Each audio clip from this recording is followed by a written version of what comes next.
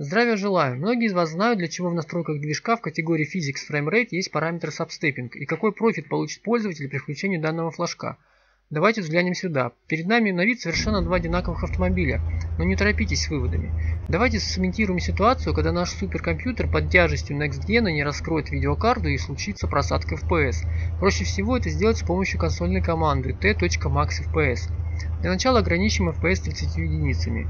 Один автомобиль ведет себя по-прежнему стабильно, когда как второй стал как-то неестественно перемещаться, как будто невидимые силы понемногу действуют на него. А теперь он стал откровенно раскачиваться. 30 FPS не слишком густо, но все еще Cinematic Experience. Давайте просадим FPS еще ниже, до 15.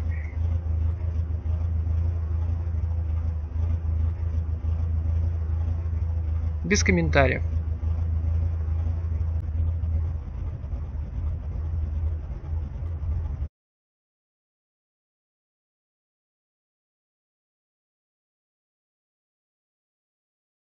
Повторим эксперимент только теперь с видом от пациента, подверженного конвульсиям.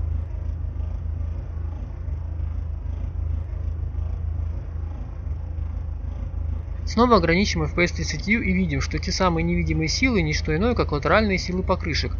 Силы никак не могут прийти в равновесие после снижения FPS и раскачивают автомобиль.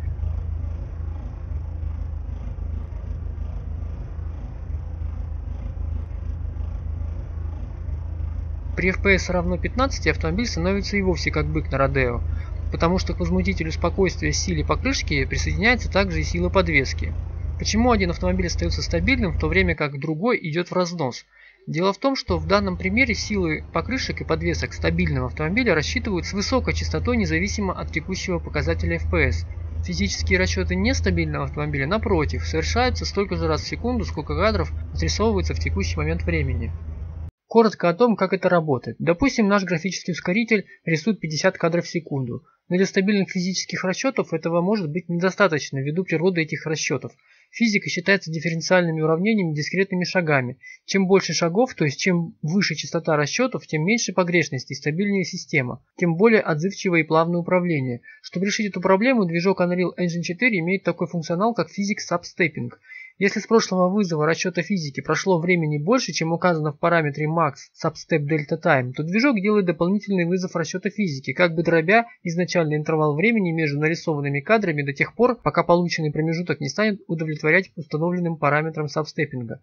Таким образом, если мы выставили max substep delta time равным 1 сотой секунды или 100 расчетов в секунду, а ваша видеокарта способна нарисовать только 50 кадров в секунду, то есть интервал времени равен 2 сотым секунды, то в промежутке между соседними отрисованными кадрами будет совершаться дополнительный расчет физики, отсюда и название substep. Значит, все, что нужно, чтобы насладиться плавной симуляцией, это просто пройти в настройки движка и активировать заветный флажок.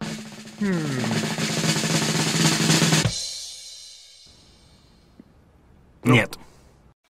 На самом деле нет. Смотрите, если вы построили свой блюпринт на основе твердых тел с включенной симуляцией физики и не делаете никаких собственных расчетов всевозможных сил трения, пружин, реактивных сил и так далее, а полностью удовлетворены функционалом физического движка из коробки, тогда да, вы можете расслабиться и пойти погулять. Всем остальным, кто пытается написать свою кастомную физику, советую задержаться еще ненадолго как бы побыстрее и максимально наглядно обрисовать ситуацию. Допустим, у нас есть некоторое физическое тело, которое имеет набор параметров, характеризующих его положение в пространстве, позицию, ротацию, линейную угловую скорости, а также обладает такими физическими характеристиками, как масса, момент инерции. Мы можем предложить к нему силу, крутящий момент. Каждый фрейм физический движок получает на вход обновленные входные параметры и решает дифференциальные уравнения, чтобы обновить линейную угловую скорость и положение нашего объекта в пространстве.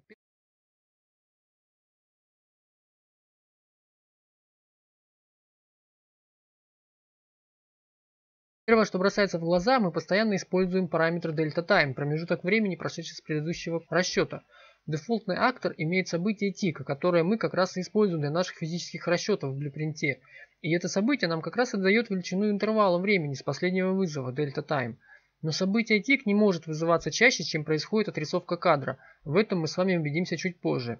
Это первая причина, почему мы не можем использовать дефолтный класс. И вторая причина. Производя расчеты в Substep-тике, физический движок оперирует актуальными на данный момент времени параметрами объекта, позиция, ротация и скорость, благодаря чему поведение объекта остается стабильным и правдоподобным. Если мы хотим делать свои расчеты, то нам не обойтись без этих самых параметров, и стандартные функции типа getLinear, AngularVelocity, getLocation, Rotation, Transform не дадут нам желаемые значения – они вернут нам не актуальные, а уже устаревшие значения с последнего отрисованного кадра.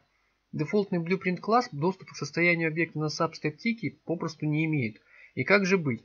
Можно создать свой C++ класс, наследованный от актора или павны, и добавить в него весь недостающий функционал. Звучит несложно, если вы дружите с Unreal Engine 4 C++, а если не дружите? Здесь нам на помощь приходят различные плагины, которые в себе уже содержат весь недостающий функционал – Пользователю лишь нужно установить этот плагин в свой проект или движок и начать пользоваться всеми его преимуществами. Мы будем использовать плагин MMT, который был написан человеком с никнеймом Borat Engineer. Плагин находится в свободном доступе и регулярно обновляется под актуальную версию движка, за что я выражаю огромную благодарность его автору. Итак, ситуация примерно ясна, перейдем теперь от лирики к практике.